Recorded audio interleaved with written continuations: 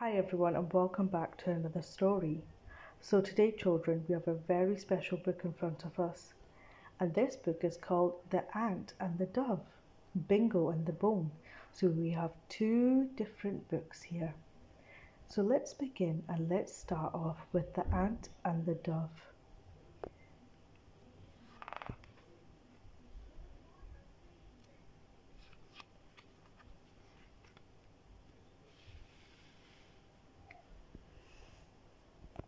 Once upon a time, a little ant went to the river. I will see what it is like in the river, he said.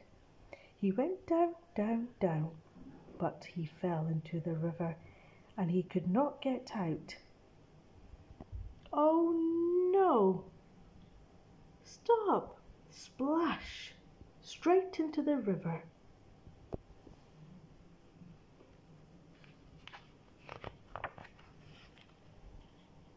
Help! Help! Called the ant. What can I do? A dove saw the ant in the river. I will help you, she said. I have got a leaf. A leaf? Yes, a leaf. I will help you, ant. Not to worry, don't be afraid. Stay calm. The dove put the leaf in the river. Get out on the leaf, she said. The ant got the leaf. It was like a little boat. Thank you so much, Dove. What a great idea. Don't worry, Ant. If you ever need me, just call for help. The ant said to the dove one day, I will help you, the dove said to the ant. You are too little to help. One day a man saw the dove. The man had a bow and arrow. I will get you, said the man. Oh no, that bow and arrow is pointing right at me, the dove said. The ant saw the man. Now I can help the dove, he said. I can stop the man, the ant said. Stop the man. Ow, ow, ow, said the man. The man jumped up and down, and the arrow went into the river. Oh no, my bow and arrow. Where has my arrow gone? Oh no, it's gone straight into the river. Ouch, that was painful. I did help you, said the ant. Yes, you did, said the dove. Thank you so much. Let's be friends. Okay, said the dove. We can be friends, ant. I hope you enjoyed the story about the ant and the dove. Now we have Bingo and the bone. Let's take a look inside together, shall we? And let's begin. Bingo was a small black and white puppy. He had two bright eyes, a big wet nose, and a very waggle tail. One day Bingo saw his mum digging in the garden. Hello, Bingo. Are you okay? Mommy, what are you doing? I'm just digging, Bingo. Can I help you? Can I help you? said Bingo.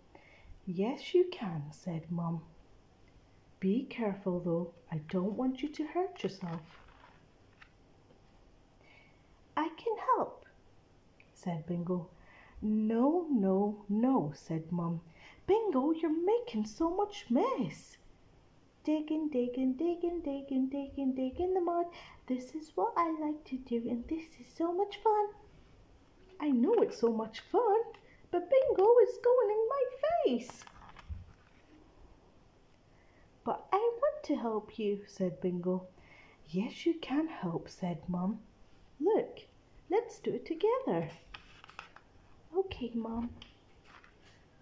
You can eat the bone, said Mum. I can eat this bone? Yes, Bingo. Mmm, this bone looks delicious. What is the birdie doing? The birdie is digging up some food from the mud. Oh, the mud that we were digging? All the worms have come out. That's good. He's got his own lunch. Hmm, this is delicious worms. And this is tasty. Mmm, can't wait to dig in the bone. Mom, would you like some? No, I'm okay, Bingo. You enjoy the bone. Don't mind me, I will enjoy this bone all to myself.